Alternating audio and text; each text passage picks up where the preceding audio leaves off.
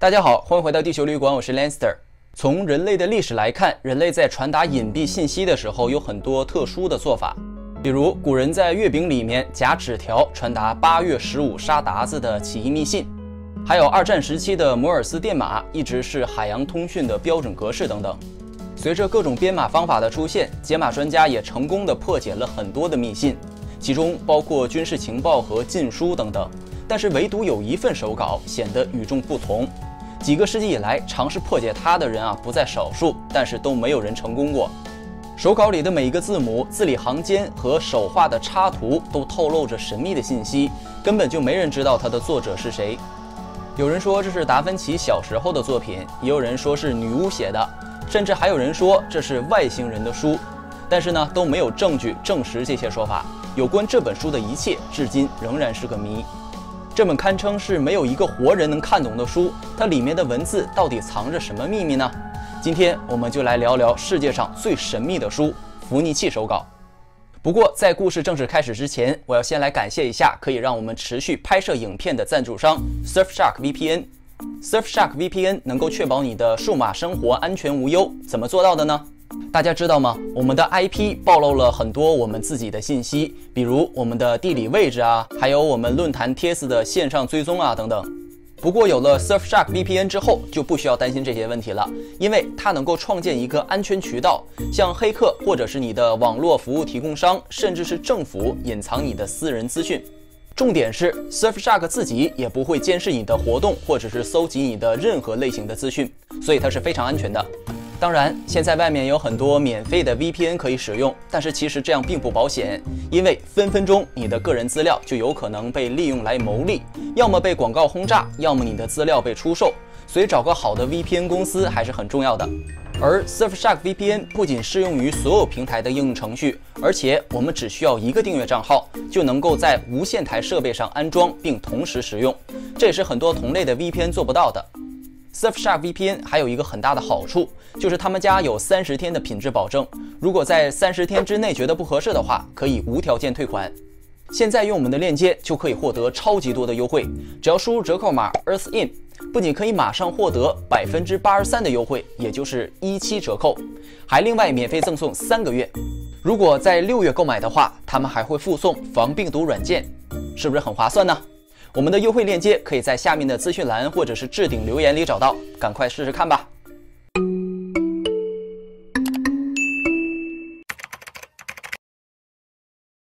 一九一二年，意大利的耶稣会因为资金短缺，正在蒙德拉贡别墅出售部分的资产。一名波兰裔的美国书商威尔弗雷德·弗尼契从那里购买了三十份手稿。其中疑似来自中世纪的一份手稿保存完美，表皮是用精致的动物皮革制成的，一共二百四十页，没有书名。翻开书看，里面不仅有大量的彩色插图，还有一堆看不懂的文字，字还是用鹅毛笔写的，字体从左到右横着写，全篇的字迹非常的工整流畅，没有任何的标点符号，给人的感觉作者非常清楚自己在写什么。但是书中写的字，没有一个人能看得懂。还有一点值得注意的是，手稿的文字是围绕着插图写的，看起来作者是先画的图，字呢是后来再写上去的。图上画的东西大概有些看得懂，有些相当的奇幻、超自然，甚至可以说是诡异。乍一看像是中世纪的炼金术士或者是草药医生的秘籍，为了不让人窥见自己的秘密而刻意的用密码写成的，但是没有办法解读。自二十世纪以来，不少专家都自称成功的破解了伏尼契手稿，但是都饱受外界的争议。美国密码破译之父赫伯特·亚德利曾经在一战期间破解过德国人和日本人的密码，就连他都对这份手稿束手无策。有些人认为它是根本不可能被破解的，它只是一种骗局，或者是毫无章法的乱写。不过，密码专家仍然坚信它是有规律的。只是它的密码可能有多套叠加，所以很难破译。尽管看不懂文字，科学家还是能够根据手稿里的插画，将书分成六个章节。第一个章节画的是类似草药的一些植物，不像我们平时能够看到的植物品种。有人认为这不属于地球上的植物，比如说这株植物，它长了五朵花，有点像向日葵，但是却是红色的，上边还有一朵蓝色的，真是前所未见。但也有一些是可以辨认的，就像这一株长得有点像荷叶，上边有一朵花的植物，我们查了一下，这和龙胆科的一种叫印度杏菜的植物相似度很高。大家看是不是呢？有的专家就认为，伏尼契手稿的那个年代，对于植物构造的描绘还不是那么的细致。直到十六世纪，对于草药或者是植物的构造的描绘才变得成熟起来。第二章是天文图案，就是月亮、星星、太阳等等。除此之外呢，还有星座，画的有双鱼座、白羊座、双子座、巨蟹座等等，十二星座都包含了。只有一幅天蝎座的图看起来比较怪异，说是蝎子，但是这看起来更像是一只鳄鱼。学者唐霍夫曼找了很多十三世纪的天蝎座图画和伏尼契手稿的天蝎座做对比，发现北欧一带的天蝎座图片呢都是没有钳子，只有四条腿，类似蜥蜴的动物。霍夫曼就认为北欧一带的艺术家很可能没有在现实中看到过蝎子，只能靠想象画图。天蝎座的朋友别生气啊！手稿的第三章可能是生物学，画的是一些动物和一些女人的形象，有的还泡在绿色的水池里。还有一些类似血管和人体器官的描绘，非常奇特。有学者认为这是意象化了的解剖图。这些管道中莫名其妙出现了女性，好像是在表达血液的流动和细胞结构。而第四个章节画的是宇宙，其中有一个是可以展开的六页的折叠图。打开之后能看到一幅包含了九个不同形态的星球被不同的管道连接起来，其中有城堡，有火山，画得非常细致。也有人把它们立体化了，变成 3D 画面后，像是一张城堡或者是太空基地的俯览图。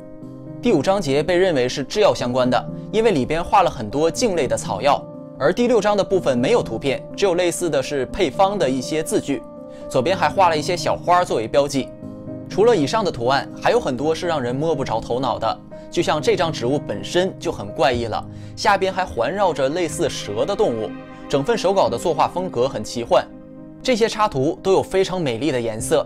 假如它是中世纪的文稿，颜色经过了几百年到现在还是这么鲜艳，可见颜料的质量非常好。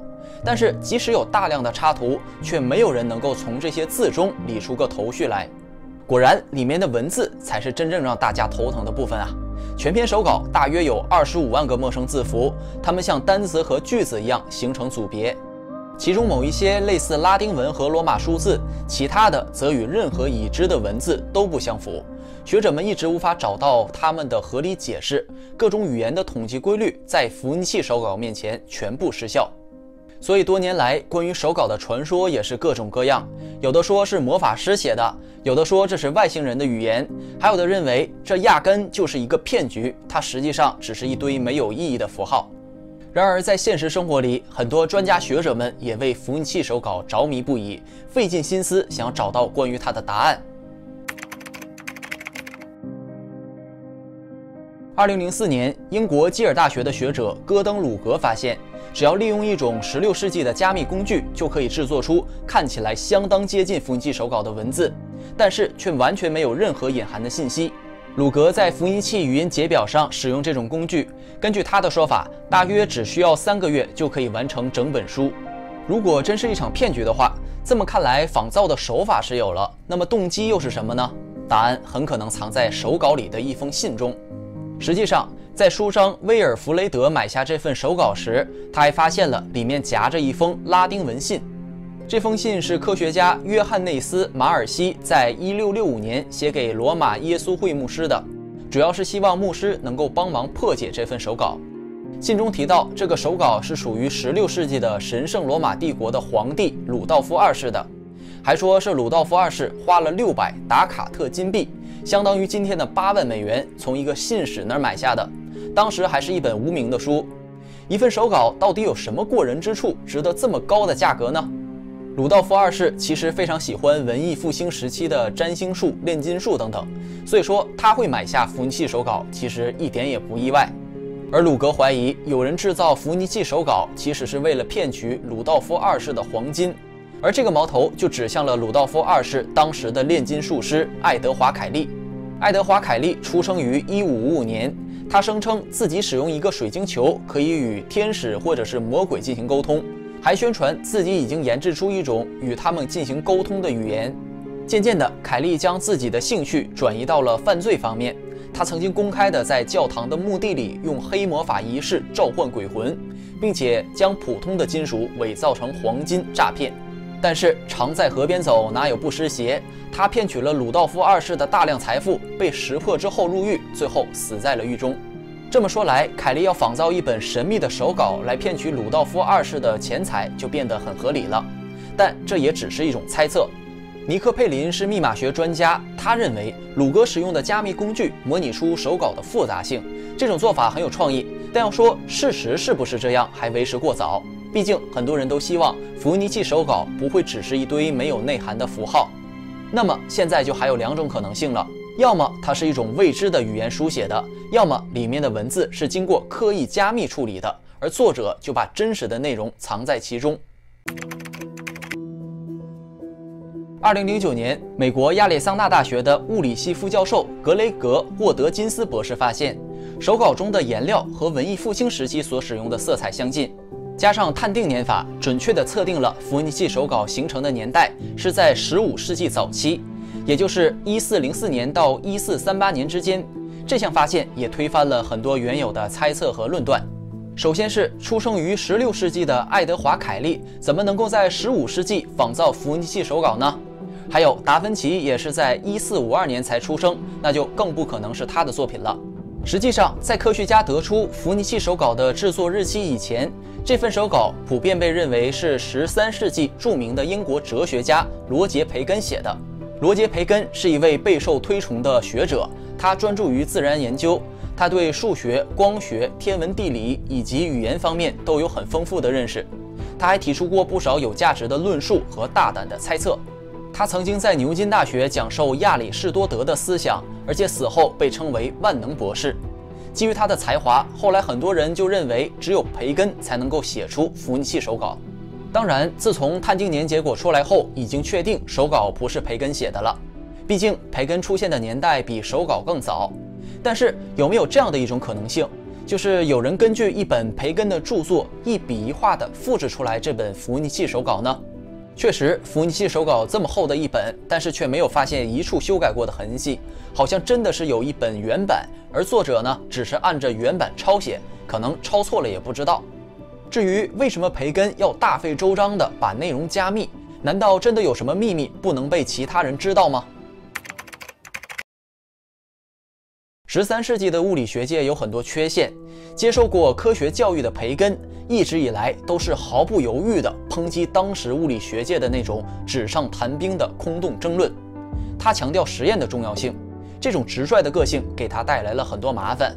大约在一二五六年，培根加入了方济各会，成为修士，从此失去了他在牛津大学的教职。